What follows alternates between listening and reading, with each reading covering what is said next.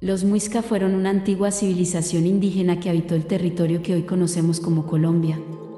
Son una comunidad indígena colombiana ubicada en el altiplano cundiboyacense. Su origen, según los historiadores, se dio entre el 600 y el 1600 a.C. Era la civilización más avanzada para su época, ya que tenían pensamientos parecidos a lo que hoy llamamos democracia. Tenían rutas específicas creadas con la guía de los astros y pertenecían a la familia lingüística chipcha, la cual hoy en día es considerada una lengua muerta. Esta comunidad fue conquistada por Gonzalo Jiménez de Quesada entre el 1536 y 1541 después de Cristo.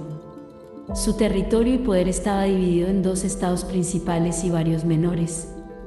Estos dos principales eran gobernados, uno por el Zipa, el dirigente del Zipazgo, ubicado en el sur, en Funza y Bogotá, y otro por el Saque, dirigente del Sacazgo, ubicado en el norte, en Unza, lo que hoy es Tunja.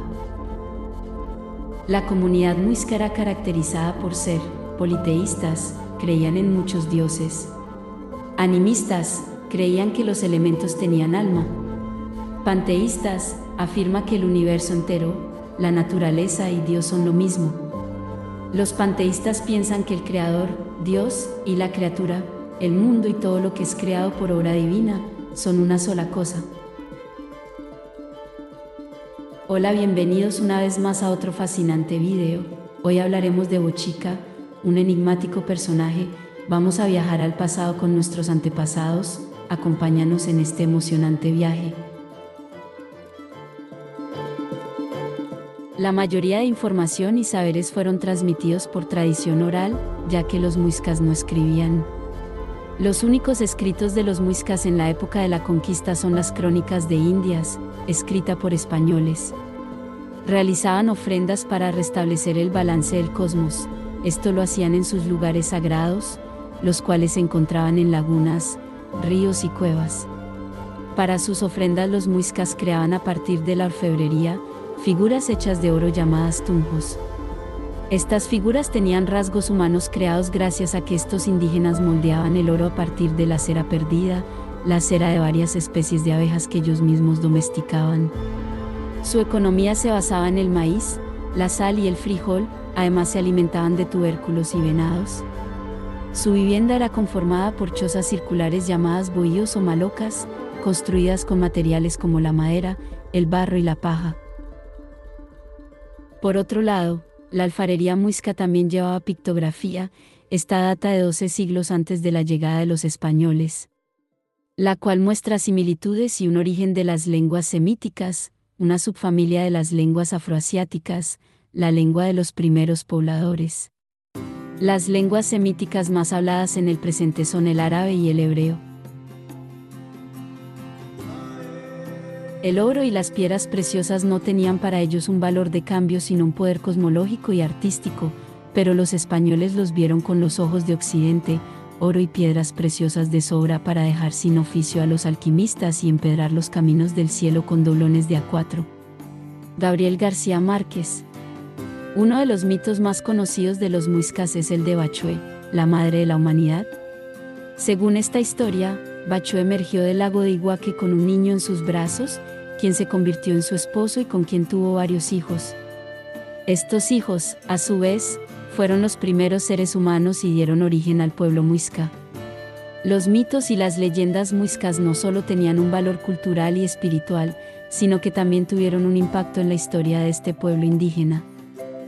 Otro mito importante es el de Bochica, el dios civilizador, según esta leyenda, Bochica fue enviado por los dioses para enseñar a los muiscas los conocimientos agrícolas, la escritura y las leyes. Bochica, en muisca un bosica, botsica o tzika, es, en la mitología muisca, un héroe civilizador o un dios que enseñó a los muiscas a hilar el algodón y tejer mantas, además de inculcarles principios morales y sociales. La tradición mítica también afirma que fue el creador del salto del Tequendahama, los cronistas escriben en diversos trabajos que varían entre sí, que los muiscas lo describieron como un hombre de cabello blanco y barba larga hasta la cintura, vistiendo una manta hasta las pantorrillas, con los pies descalzos y portando un báculo de oro. Este misterioso personaje, según los relatos recopilados, y algunas omisiones en los mismos escritos, nos conducen a un misterio más grande y sin descifrar, ya que la descripción física de Bochica, en los relatos recopilados, como el jesuita Alonso de Medrano en su descripción del nuevo reino de Granada, 1599, obra en la que el mito de Bochica tiene las siguientes características, Medrano no escribe ningún nombre que se le hubiera dado al misterioso extranjero. Solo se refiere a él como Santo Varón, tiempo en el que llegó el extranjero al territorio muisca, hace unos 1500 años, contados desde la época en la que escribe el autor, finales de 1598. Lugar de procedencia, el oriente. Apariencia física, piel blanca y cabello rubio hasta los hombros. Carácter, se mostraba dominante, con poder o mandato. Atuendo, vestido largo. Compañía, venía acompañado por un camello. Venía acompañado de un camello, ¿era esto posible en este continente americano? El camello es un mamífero artiodáctilo rumiante, originario de Asia Central. Es un animal corpulento, más alto que el caballo, con el cuello largo, la cabeza proporcionalmente pequeña y dos jivas en el dorso. Los camélidos y en América hay un grupo de mamíferos rumiantes que pertenecen a este género, como la alpaca, la vicuña y la llama. La relación sintagmática en el texto se da así, camello, dromedario, llama, alpaca vicuña. Hay evidencias de un código ecológico, Se ha cuestionado la veracidad de las historias preservadas y el alcance de la corrupción por las creencias y el imaginario incorporado por misioneros cristianos y monjes que relataron por primera vez en crónicas las leyendas nativas. En la obra de Bernardo Vargas Machuca, Apologías y Discursos de las Conquistas Occidentales, 1599, se hace referencia a una piedra que llevaba tallada la forma de una cruz, en las cercanías del pueblo de Vélez. Queriendo Gonzalo Jiménez de Quesada saber el origen de esa cruz tallada en la piedra, los indígenas más ancianos le relataron una historia que coincide con la de Bochica y que tiene las siguientes características. Nombre que se da al extranjero, no se le da ninguno. Tiempo en el que llegó el extranjero al territorio muisca, hace más de 1500 años, contados, poco más o menos, desde la fecha en que el autor relata lo sucedido, 1599. Apariencia física, barba larga. Atuendo, similar al de los apóstoles, con la insignia de la cruz en la mano. Enseñanzas, les intentó enseñar doctrinas nuevas, pero como no le escucharon, les advirtió que en el futuro llegarían unos extranjeros que les enseñarían las doctrinas que no habían querido aprender de él. Interpretación de Vargas Machuca, según este autor, se puede creer que el extranjero fue alguno de los discípulos de los apóstoles. Otros datos, se dice en esta crónica que el extranjero hacía la señal de la cruz con la mano derecha. Como podemos ver, los relatos describen una persona de edad avanzada, un sabio, con una apariencia física muy distinta a los nativos muisca, la cual se asemeja a un europeo de las tierras nórdicas. El explorador alemán Alexander von Humboldt escribió Sitios de las Cordilleras y Monumentos de los Pueblos Indígenas de América, 1810, obra en la que el mito de Bochica es analizado por el autor, probable origen de Bochica, para Humboldt, Bochica pudo haber sido un sabio náufrago europeo, o bien un escandinavo llegado de las tierras nórdicas.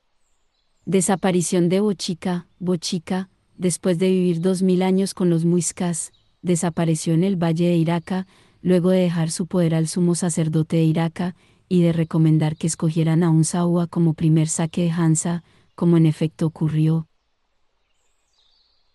Relación con el lejano oriente, según este autor, Bochica fue el Buda de los muiscas, y sus enseñanzas, sobre todo en cuanto a la forma de organización social, tenían mucho en común con las del budismo tibetano. El mito del salto del Tekendama, el Salto del Tequendama es uno de los sitios más emblemáticos y misteriosos de Bogotá. Se trata de una cascada de 157 metros de altura por donde baja el río Bogotá. Según la tradición muisca, el Salto del Tequendama fue creado por el dios Bochica. La leyenda cuenta que, tras un diluvio que inundó la sabana de Bogotá, Bochica golpeó con un bastón una muralla de piedra y desató la fuerza de las aguas. Durante días y noches llovió tanto que se arruinaron los cultivos, las casas se vinieron al suelo, y se mojaron tanto que lo mismo servía tener techo de palma o no. Bochica les había enseñado a sembrar y cultivar en las tierras bajas que quedaban próximas a la sabana y a orar. Cuando se iniciaron las lluvias, Bochica estaba visitando el poblado de Sugamuxi, hoy Sogamoso, en donde había un templo dedicado al sol. Decidieron llamarlo, porque pensaron que Bochica era un hombre bueno que podría ayudarlos, o todo el imperio se acabaría a causa de la gigantesca inundación.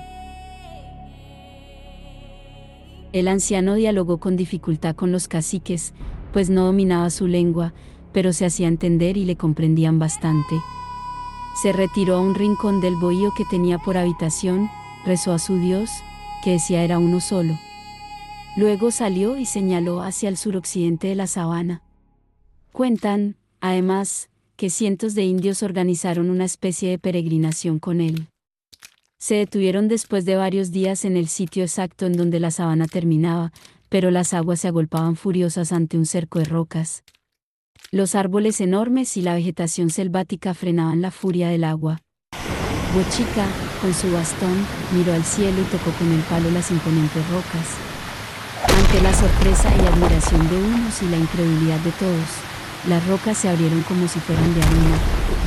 El agua se volcó por las paredes, formando un hermoso salto de abundante espuma, con rugidos bestiales y dando origen a una catarata de más de 150 metros de altura. La sabana, poco a poco, volvió a su estado normal. El mito de Huitaca. El mito de Huitaca es uno de los más confundidos. Según los indígenas, Huitaca era una mujer catalogada como héroe, activa y líder. Esta mujer se convierte en lechuza, símbolo de las mujeres del conocimiento, guardianas de Bachué y de la tradición. Sin embargo, según los españoles, esta diosa de la lujuria se oponía a las enseñanzas del dios Bochica y por medio de su hermosura hacía que todos los hombres desobedecieran, les enseñó los placeres, los juegos y las borracheras. Ella fue convertida por Bochica en lechuza como castigo, ya que la pintan como una sinvergüenza. Específicamente es convertida en lechuza, ya que debido a sus borracheras es una persona nocturna. El héroe Bochica, un extranjero, venido por el oriente en un camello, da preceptos morales en la lengua de cada pueblo indígena, predica una vida ejemplar y abstinente, la resurrección de la carne y el dar limosnas. Simultáneamente les enseñó las artesanías como medio para vivir, predicó con gran concurso de gentes de todos los pueblos muiscas, se recogía por las noches en las cuevas de la sierra. Por lo dicho anteriormente en los niveles de significación una cosa es suponer las características, la forma física del personaje, mítico y otra que el relato lo afirma. Es posible que hayan sido alteradas estas características del personaje indígena muisca a las nuevas peculiaridades españolas que exigían las necesidades históricas del momento. La conquista. Los relatos indígenas han sido deformados en la traducción. Pero a pesar de ello, el valor del mito como mito persiste, se manifiestan categóricamente dos dudas, ¿el extranjero era inca o había venido del Perú? Esto puede indicar un intercambio trueque entre los pueblos incas y muiscas. En los últimos hallazgos arqueológicos en esta región cundiboyacense se han encontrado evidencias de ese intercambio. Se revela un código étnico geográfico, la llegada del extranjero se hace por el oriente al país de los muiscas, se patentiza una referencia a las leyendas orientales sobre el origen del cristianismo. El oriente es el lugar del sol naciente, la barba de este personaje habla en favor del mito solar, pelos son rayos, se expresa un código divino, se refiere a una deidad astronómica. En el mito de Bochica, podemos encontrar demasiadas similitudes con otras culturas, Mesopotamia, africanas, europeas, asiáticas, mesoamericanas, todas coinciden con esas personas o seres que aparecen de pronto, desde el cielo, emergen desde las aguas, bajo la tierra, extraños personajes con un vasto conocimiento, arte, casa, construcción, organización sociopolítica y cultural, siempre con lineamientos, normas y deberes, etc. A lo largo de la historia humana, estos personajes, los antepasados los veneraban y sentían respeto por su nivel de conocimiento, cabe anotar en este punto que algunos de estos seres eran implacables con estas comunidades, en el mito de Bochica vemos el relato del diluvio. En la Biblia, Noé y su arca sobrevivieron a un gran diluvio que cubrió la tierra y destruyó toda la vida. En la antigua Grecia, Zeus decidió destruir a la humanidad con un cataclismo basado en el agua como castigo por aceptar el fuego de Prometeo. Prometeo advirtió a Deucalión y su esposa Pirra para que construyeran un barco y pudieran salvarse del desastre. En los registros pictóricos de los antiguos gobernantes incas también se detalla una gran inundación que alcanzó las montañas más altas. Decían que el dios Parisia envió este diluvio para aniquilar a los humanos que no le mostraban respeto. Para los mapuches, el diluvio se produjo cuando lucharon las serpientes Tren Tren Bilu y Caica y Bilu. Para algunas culturas estos personajes eran considerados divinidades, héroes, guías espirituales, y para los muiscas eran sus abuelos sus antepasados, los seres más sabios. Con Bochica también podemos asumir ciertas similitudes con Viracocha, era el dios supremo de los incas. También se conoce como Viracocha, Viracoca y Viroocha. Considerado como el dios creador, era el padre de todos los demás dioses incas y quien formó la tierra, los cielos, el sol, la luna y todos los seres vivos. Cuando terminó su trabajo, se cree que viajó a lo largo y ancho educando a la humanidad y trayendo las artes civilizadas antes de partir a cruzar el Pacífico hacia el oeste, para no volver a ser visto nunca, aunque prometió volver algún día. En su ausencia, a las deidades menores se les asignó el deber de velar por los intereses de la raza humana, pero, aún así, Viracocha siempre estaba mirando desde lejos el progreso de sus hijos. En el arte, Viracocha se representa a menudo como un hombre viejo barbado con una túnica larga y sostenido por un báculo, una similitud a Bochica, su vestimenta, su apariencia física, todo es un gran misterio con estos personajes, aunque sigamos investigando estas ruinas. Estos vestigios del pasado nos encontraremos con un largo camino por recorrer y descubrir estos fascinantes secretos. Esperamos que nuestra investigación nos lleve algún día a develar la verdad de estos míticos visitantes. El momento solo nos podemos preguntar. ¿Estos seres que convivieron con nuestros ancestros son de origen estelar o de otra dimensión? ¿O simplemente existen en algún lugar de nuestro planeta, un territorio oculto y sin explorar de dónde surgieron estos seres? A pesar de su rica cultura, los muisca enfrentaron desafíos con la llegada de los conquistadores españoles en el siglo XVI. La colonización y la imposición de nuevas creencias llevaron al declive de la civilización muisca, pero su legado perdura en la riqueza arqueológica y las tradiciones que han sido preservadas por las comunidades indígenas contemporáneas. En resumen, la cultura muisca representa una parte fundamental de la historia de Colombia, y la figura de Bochica sigue siendo un símbolo de sabiduría y civilización en la mitología indígena. Y bueno amigos, gracias por acompañarnos en esta aventura. ¿Qué les pareció la historia muisca y a su dios Bochica? ¿Alguna vez habían escuchado este mito? ¿Bochica fue un extranjero europeo o un visitante de otro lugar fuera de nuestra realidad? Déjanos tus comentarios, nos gustaría leerlos. Esperamos que este video programa les haya cautivado. Si fue así, no se olviden de regalarnos un like y suscríbanse a nuestro canal para seguir creciendo así poder seguir trayendo más historias y mitos de nuestra cultura. Nos veremos muy pronto en otro video. Adiós y felices lunas.